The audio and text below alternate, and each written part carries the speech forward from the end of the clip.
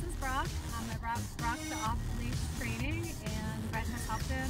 He's done way better whenever I first brought him. He was um, not listening, not um, wanting to work, do walks in front of me.